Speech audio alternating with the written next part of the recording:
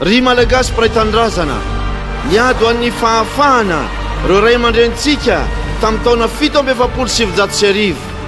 Azontsika tamin'ny enina amby roapolo jona enimpolo sy sivinjato sy arivo ny fahaleovantenam-pirenena. Miandry foana anefa isika hatramin'izay ka hatramin'izao. Na firaisankinam-pirenena izany, na fitondrana mangarahara ho an'ny firenena sy ho an'ny vahoaka malagasy. Roa amby fitopolo sy sivinjato sy arivo, raika amby sivifolo sy sivinjato sy arivo, roa sy roa arivo, sivy sy roa arivo. Taona manamarika ny tantaran'ny tanindrazana daholo ireo. Hitondra hery vaovao ho anao aho. Hiverenan'ny fitondram-panjakana matanjaka ho an'ny vahoaka ary hiasa. ho an'ny vahoaka.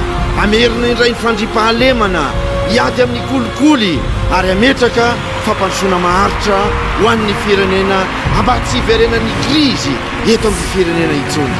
Hitondra asa ho an'ny tanora sy ho famelomana ny taranaka amam-para. Hitondra fanabeazana sy fianarana ho an'ny daholobe. Hitondra fahasalamana ho an'ny rehetra ary isa minitra, isan'ora. dia hiady amin'ny fahantrana. Olona efa voasedra, vonona tanteraka ho anao sy ho an'ny firenentsika. Hitana ny teniko aho, ary izay rehetra nampanantenaiko dia ho tanterahako. Ho filohan'ny Malagasy rehetra. Tonga ny fotoana izay efa nandrasantsika hatry ny ela. Miantso anao aho hiaraka hanangana ampitso mamiratra ho an'ity firenentsika ity. Tolory tanana aho. Omeo ny fatokisanao, ary amin'ny faha dimy amby roapolo ny volana oktobra, arotsay ho ahy ny vatonao.